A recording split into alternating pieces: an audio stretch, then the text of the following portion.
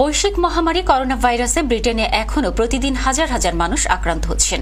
এমতো অবস্থায় primary school ও অপ্রয়োজনীয় দোকানপাট খুলে দেওয়া সহ লকডাউন শিথিল করা নিয়ে প্রধানমন্ত্রীর ঘোষণায় মিশ্র প্রতিক্রিয়া দেখা দিয়েছে বাংলাদেশি কমিউনিটিতে। অনেকেই মনে করছেন এটি হবে তাদের জন্য আত্মঘাতী। দর্শক, এ নিয়ে একটি রিপোর্ট করছেন আমাদের সহকর্মী ফখরুল হোসাইন।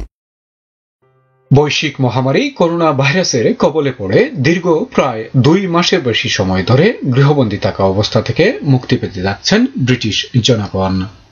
প্রধানমন্ত্রী বরিস জনসন লকডাউন শিথিলের ঘোষণা দিয়ে অর্থনীতি ও শিক্ষা ব্যবস্থাকে সচল করতে প্রাইমারি স্কুল সহ ব্যবসা প্রতিষ্ঠানগুলো খুলে দেয়া এবং স্বাস্থ্যবিধি মেনে জনগণকে নিজ নিজ কর্মস্থলে ও স্বাভাবিক জীবনে ফিরে যেতে আগ্রহী করছেন।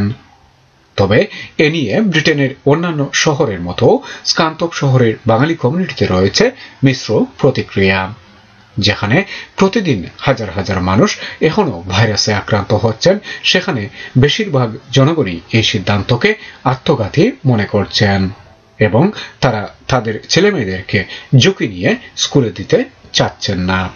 স্কুল খোলাটা কিন্তু এখন আমরা বাচ্চাদের লাগি সেফ মনে করি না বা ফ্যামিলির লাগি।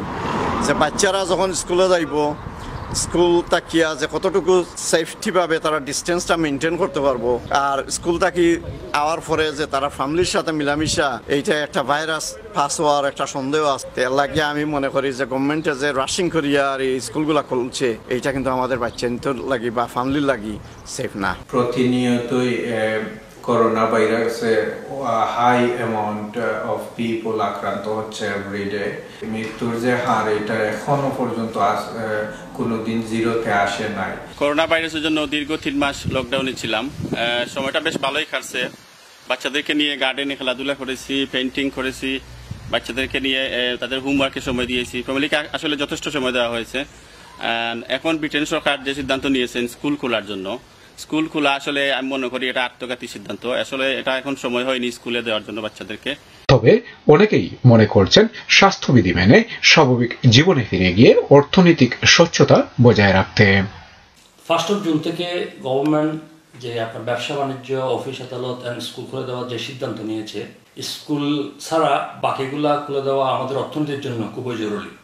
আমরা চাই না আর একটা রিসেশন আসুক, কিন্তু আমরা অফিস আদালতের ব্যাপারে গভর্নমেন্টের যে নির্দেশনা দিয়েছে, আপনার সোশ্যাল ডিস্টেন্স আর যে নির্দেশগুলো আছে, ওগুলো অবশ্যই মানতে হবে।